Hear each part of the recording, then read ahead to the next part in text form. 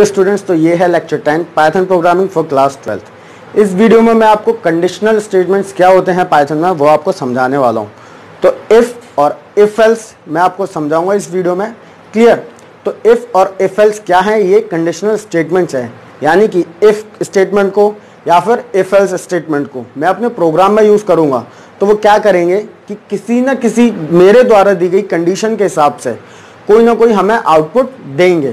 Clear तो सबसे पहले इफ़ प्रोग्राम को हम समझेंगे आई मीन इफ़ स्टेटमेंट को समझेंगे। तो एग्ज़ाम्पल में बता एग्ज़ाम्पल बताता हूँ। एग्ज़ाम्पल ये है कि यूज़र अपनी एज एंटर करेगा और हमें पता चल जाएगा कि वो जो यूज़र है, वो वोट दे सकता है या नहीं। कौन बताएगा? प्रोग्राम हमारे द्वारा दी गई कंडीशन के हिसाब से। क्लियर तो प्रोग्राम मैंने ऑलरेडी लिखा हुआ है। तो ए एक वेरिएबल मैंने लेट कर लिया है। और उसके बाद क्योंकि एज है तो ए ले लिया है। यूज़र से एंटर एज मैंने दे दिया है। ये यूज़र अपनी एज एंटर कर देगा। उसके बाद मैंने कंडीशन दी हुई है। कंडीशन का सिंटेक्स क्या होता है? इफ़ उसके बाद ये पेरेंथेसिस उसके बाद कंडीशन यहाँ पे देना है, उसके बाद कॉलन लगाना है। अब अगर ये कंडीशन ट्रू होती है तो इस स्टेटमेंट का ब्लॉक है। क्लियर ये स्टेटमेंट ट्रू होगा तो इस स्टेटमेंट का जो ब्लॉक होगा इधर क्लियर वो एग्जीक्यूट हो जाएगा। अगर ये जो कंडीशन है, वो फॉल्स होती है तो इस स्टेटमेंट का ये जो ब्लॉक है वो आउटपुट में नहीं आएगा, वो एग्जीक्यूट नहीं होगा। तो इसको लिखने का कोई फ़ायदा नहीं होगा। क्लियर अगर ये फॉल्स होती है तो। क्लियर ये है अभी इफ़ कंडीशन क्लियर तो अब इन तीनों लाइन को हमने लिख के रन किया है। तो अब इनको रन करने के बाद सबसे पहले क्या लिखा हुआ आएगा? सबसे पहले लिखा हुआ आएगा स्क्रीन पर एंटर एज एज एंटर कर दोगे।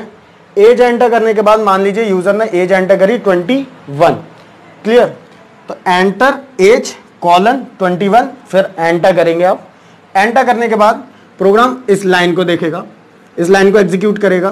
तो 21 इज़ ग्रेटर देन 17 क्या ये कंडीशन ट्रू है? हाँ ये कंडीशन ट्रू हो रही है। तो प्रोग्राम इस लाइन पे आ जाएगा। इस लाइन पर उसने देखा ये कंडीशन ट्रू हो रही है तो इसको एग्जीक्यूट करना है। तो वो ये आउटपुट दे देगा। क्लियर? तो क्या आ जाएगा? यूज़र कैन वोट अगर मान लीजिए मैं यहाँ पे लिखता फोर्टीन लिखता आ, या इधर फोर्टीन एंटर करता प्रोग्राम रन कराते और फोर्टीन एंटर करता तो क्या आता? ये कंडीशन फॉल्स हो जाती। क्यों? Fourteen is greater than seventeen क्या फोर्टीन सेवनटीन से बड़ा होता है? नहीं होता है। तो ये कंडीशन फॉल्स हो जाती। तो फिर एक ही आउटपुट स्टेटमेंट है इसमें जो कि हमें आउटपुट दिखा रहा है। तो फिर इसका कुछ भी आउटपुट नहीं आता। क्लियर ये कंडीशन फॉल्स हो जाती तो प्रोग्राम इस अंदर जाता ही नहीं। फिर इस लाइन में, इस इंडेंटेशन में, यानी कि यहाँ से जो शुरुआत हो रहे होंगे ऐसे कुछ स्टेटमेंट्स अगर हैं प्रोग्राम में। प्रोग्राम डायरेक्ट इसके बाद इधर आ जाता। अगर ये फॉल्स होती, इस पर नहीं जाता क्योंकि ये फॉल्स हो गई है। क्लियर हो गया ये प्रोग्राम ये ये थी इफ़ कंडीशन एक और एग्जांपल देकर समझाता हूँ मैं आपको। ओके तो इस लाइन में मैंने क्या किया है? यूज़र से नंबर लिया है। नंबर लेने के बाद मैंने चेक किया है क्या वो 50 से बड़ा है? अगर वो बड़ा होगा कंडीशन ट्रू होगी तो ये एग्जीक्यूट होगा। अगर वो नंबर 50 से छोटा होगा तो कंडीशन फॉल्स होगी, ये एग्जीक्यूट नहीं होगा। तो सपोज़ कि मैंने एंटर किया है 41 तो 41 एंटर करने के बाद देखा कि ये कंडीशन तो फॉल्स है, क्योंकि 41 50 से बड़ा नहीं है। क्लियर तो ये एग्जीक्यूट नहीं होगा। ओके तो मैं द्वारा रन करता हूँ प्रोग्राम मैंने प्रोग्राम को द्वारा रन किया, फिर यूज़र से नंबर एंटर करने के लिए पूछा जाएगा। यूज़र से पूछा, इस बार यूज़र ने एंटर किया 61 अब प्रोग्राम सेकंड लाइन में आया, उसने देखा 61 तो बड़ा है 50 से। तो ये कंडीशन ट्रू कर दी। उसके बाद क्या करेगा? एन की पावर टू क्लियर ये दो क्या है? मल्टीप्लीकेशन के साइन है। क्लियर एन की पावर टू तो एन का स्क्वायर एन क्या था? 61 तो 61 का स्क्वायर निकल कर आ जाएगा। क्लियर आपको किसी का भी स्क्वायर निकालना हो, यानी कि किसी की भी पावर हो तो हमें क्या करना है? डबल मल्टीप्लीकेशन लगा देना है, बस। जैसे, आपसे बोला जाए कि 22 की पावर थ्री निकालो, यानी कि 22 का क्यूब निकालो। तो आप क्या करोगे? 22 टू इंटू थ्री तो इसका मतलब क्या है? 22 की पावर थ्री। तो ये हम ऐसे तो लिख नहीं सकते, हमारा जो इंटरप्रेटर है। तो उसके लिए इसको पावर को शो करने के लिए हमें क्या करना पड़ता है? दो मल्टीप्लीकेशन के साइन लगाने पड़ते हैं, जिससे प्रोग्राम समझ आता है कि ये जो नेक्स्ट नंबर है, वो फ़र्स्ट नंबर की क्या है? पावर है। क्लियर अगर आपको स्क्वायर रूट निकालना है तो टू से तो कर नहीं सकते ज़ीरो पॉइंट फाइव से करेंगे। ज़ीरो पॉइंट फाइव से क्यों किया है? क्योंकि किसी का भी स्क्वायर रूट क्या होता है? वन बाई टू ही तो होता है। जैसे फोर का स्क्वायर रूट क्या होगा? ऐसे भी तो शो कर सकते हैं हम। ऐसे शो करते हैं हम मैथ में। हम ऐसे भी शो कर सकते हैं तो वन बाई टू का मतलब फोर की पावर ज़ीरो पॉइंट फाइव तो ज़ीरो पॉइंट फाइव का मल्टीप्लाई कर दिया इधर हमने। क्लियर हो गया ये ये वाला जो साइन है कि किस तरीके से किसी भी नंबर की पावर निकालते हैं क्लियर तो ये प्रोग्राम आई थिंक आपको समझ में आ गया हो तो इफ़ एल्स कंडीशन को यूज़ करने के लिए मैं फिर से एक बार वोट वाला प्रोग्राम यूज़ करूँगा। लेकिन इस बार कुछ और मॉडिफिकेशंस भी होंगे, क्योंकि अब खाली इफ़ नहीं है इफ़ एल्स है साथ में। तो मैं जल्दी से प्रोग्राम लिख देता हूँ। Age and input enter age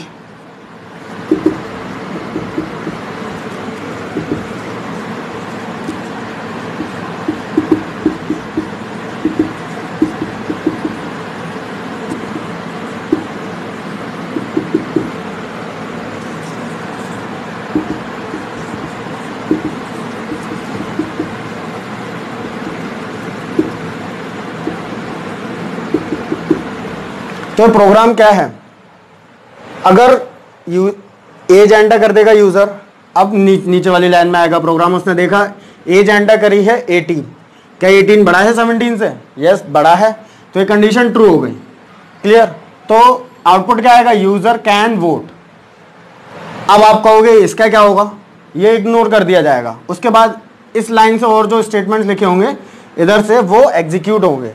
clear अब मान लीजिए कंडीशन फॉल्स होती है तो क्या होता है? मान लीजिए यूज़र ने एंटर कर दिया एक ही जगह 14 14 इज़ ग्रेटर देन 17 नहीं, ये कंडीशन हो गई फॉल्स तो इफ़ एल्स में क्या होता है? अगर इफ़ वाली कंडीशन फॉल्स होती है तो इफ़ का तो ब्लॉक एग्जीक्यूट होगा नहीं तो एल्स का ब्लॉक एग्जीक्यूट हो जाएगा.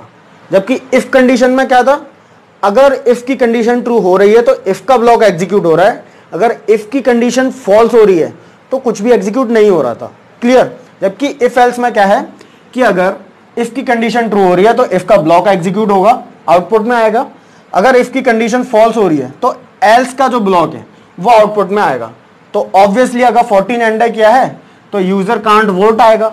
क्लियर हो गया ये प्रोग्राम बहुत ईजी प्रोग्राम क्लियर इसके बाद मैं आपको एक और प्रोग्राम समझाता हूँ।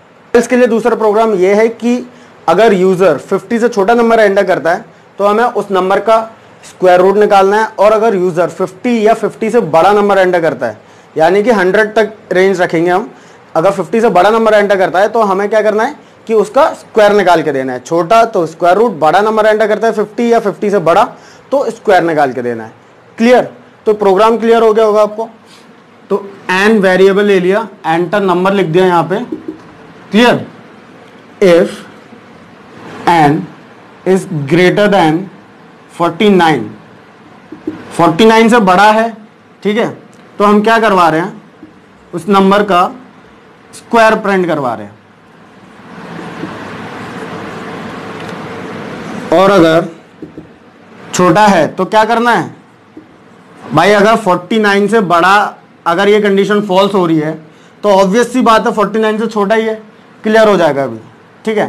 तो एन 0.5 मान लीजिए यूज़र ने एंटर किया 51 तो 51 इज़ ग्रेटर देन 49 हाँ 49 से बड़ा होता है। तो क्या हो जाएगा? 51 की पावर टू तो स्क्वायर हो गया। ये इग्नोर कर दिया जाएगा क्योंकि ये कंडीशन ट्रू हो चुकी है। अब सपोज़ यूज़र एंटर करता है 49 क्लियर तो 49 इज़ ग्रेटर देन 49 उस सिचुएशन में ये कंडीशन फॉल्स हो जाएगी। क्लियर क्यों? क्योंकि 49 से बड़ा देखना है हमें। तो 49 से बड़ा तो नहीं है। 49 49 से बड़ा तो नहीं है क्लियर हो गया। तो ये कंडीशन फॉल्स हो जाएगी और प्रोग्राम इस पार्ट को स्किप कर देगा मतलब इस पूरे को, और यहाँ पर आ जाएगा। इसको एग्जीक्यूट कर देगा। 49 का स्क्वायर रूट ये मैं बता चुका हूँ अभी। क्लियर यानी कि कंडीशन ट्रू तो इसका ब्लॉक कंडीशन फॉल्स ये वाली तो इसका ब्लॉक क्लियर तो इफ़ एल्स में क्या है कि अगर कंडीशन फॉल्स होती है तो एल्स का पार्ट एग्जीक्यूट होता है, जबकि इफ़ में ऐसा नहीं था। तो ये दोनों एग्ज़ाम्पल देख के आपको समझ में आ गए। अब इसमें हम थोड़ी सी फॉर्मेटिंग भी कर सकते हैं अपने हिसाब से। जैसे देखिए।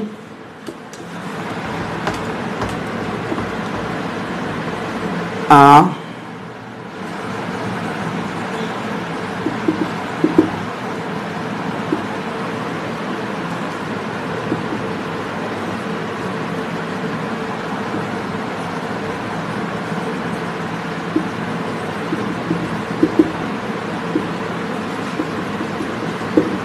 आप सही लग रहा है ना? मान लीजिए 62 टू एंड किया 62 two is greater than 49 condition true तो क्या आउटपुट आएगा? स्क्वायर इज़ कॉलन फिर इसका, ये मैं बता चुका हूँ आपको प्रिंट स्टेटमेंट वाली वीडियो में कि प्रिंट स्टेटमेंट में हम किस किस तरीके से वैल्यूज़ रख सकते हैं। क्लियर किस किस तरीके से हम स्ट्रिंग और इंटीजर और अदर वेरिएबल्स को यूज़ करते हैं। क्लियर नहीं देखा है तो जाकर देख लीजिएगा। क्लियर तो इफ़ एल्स आपको क्लियर हो गया होगा। ओके तो इसके बाद एक और प्रोग्राम में समझाता हूँ। उससे तो आपको hundred and one percent clear हो जाएगा। एन वन एंटर कर दिया twenty one N two enter कर दिया ट्वेंटी थ्री तो एन वन छोटा है और एन टू बड़ा है। क्लियर एन वन क्या एंटर करा है? एन वन हमने क्या एंटर करा है? Twenty one N two enter किया है ट्वेंटी थ्री प्रोग्राम रन करने पर। तो क्या एन वन बड़ा है? ट्वेंटी वन ये एंटर किया है ट्वेंटी थ्री तो क्या एन वन बड़ा है एन टू से? नहीं। तो ये कंडीशन फॉल्स ये एग्जीक्यूट हो जाएगा N two is greater than N one सही बात है ये। अगर मान लीजिए ये किया है ट्वेंटी थ्री ये किया है ट्वेंटी वन तो ये कंडीशन ट्रू तो ये ये जो स्टेटमेंट है, ये एग्जीक्यूट होगा। ये इग्नोर कर दिया जाएगा। बस इस चीज़ का ध्यान रखना है कि कंडीशन के हिसाब से यहाँ पे आपने क्या लिखा है। अगर मैं यहाँ पे ये लिख देता एन टू और यहाँ पे एन वन और एन एन एन वन क्या है? ट्वेंटी थ्री एन टू क्या एंड क्या? ट्वेंटी वन तो क्या है? एन वन बड़ा है एन टू छोटा है। तो लेकिन आउटपुट क्या लिख लिख के आ रहा है? एन टू बड़ा है। N two is greater than N one तो ये ये ध्यान रखना, जो आपने कंडीशन दी है, उस हिसाब से क्या यहाँ पर हमें स्ट्रिंग लिखनी है, क्या वैल्यू देनी है? अगर वो वैल्यू देने में गलती कर दी तो प्रोग्राम गलत हो जाएगा।